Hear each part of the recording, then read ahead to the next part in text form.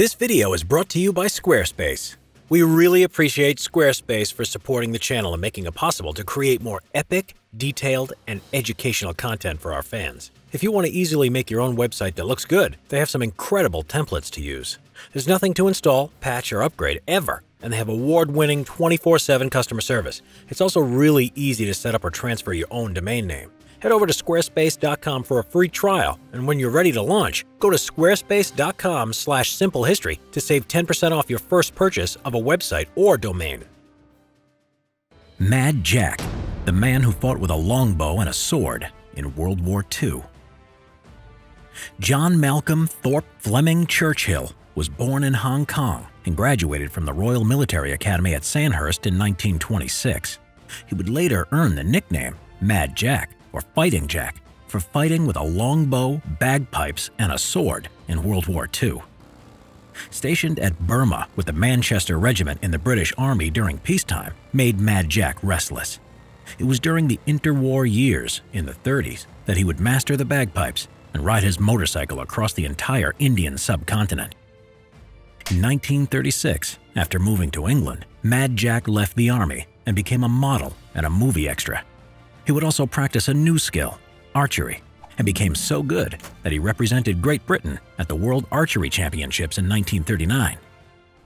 When war arrived, Mad Jack returned to the British Army and the Manchester Regiment as an officer and was shipped off to France. During the Battle of France in 1940, Mad Jack led small raids on the enemy as the British Expeditionary Force was on the retreat from the Germans' relentless advance. Using a longbow and a Scottish broadsword as his weapon of choice, he became the only soldier known to have felled an enemy with a longbow in the war when he landed a shot on the enemy Feldwebel with a barbed arrow. When asked why he did this, he replied, Any officer who goes into action without his sword is improperly dressed. During the retreat to Dunkirk, Mad Jack was shot in the neck. When asked how it happened, he replied, German machine gun, casually. He would also win the Military Cross for bravery after rescuing a wounded British officer from a German ambush. After Dunkirk, Mad Jack signed up for the Commandos, and when his training was complete, he was sent to Vågsø, Norway in 1941 as second in command of No. 3 Commando in Operation Archery. As he left the landing craft, Mad Jack played March of the Cameron Men on his bagpipes and then led his men ashore with his broadsword waving in the air. The German garrison at Vågsø was quickly defeated.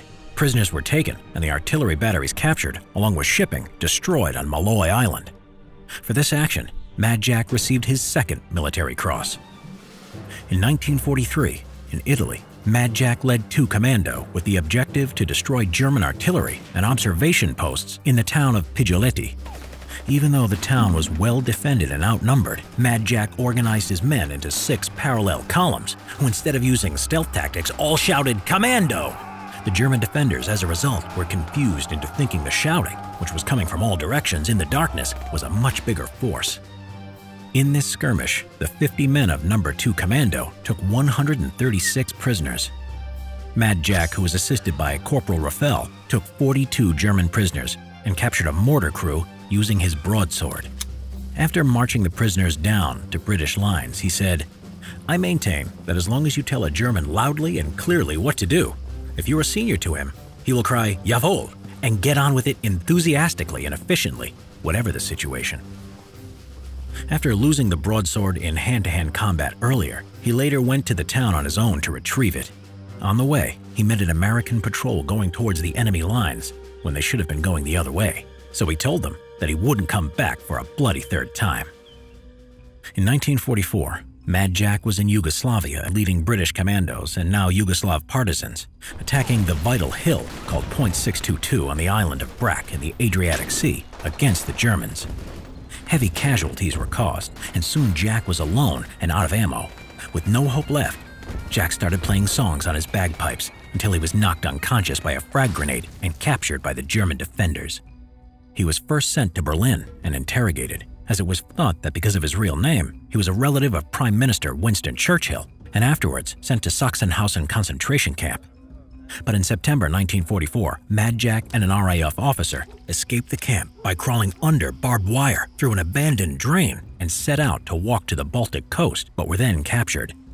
Now sent to a new camp in Niederdorf, Austria, Mad Jack escaped again on April 1945, taking the opportunity to get away when the lighting system failed in the darkness of night.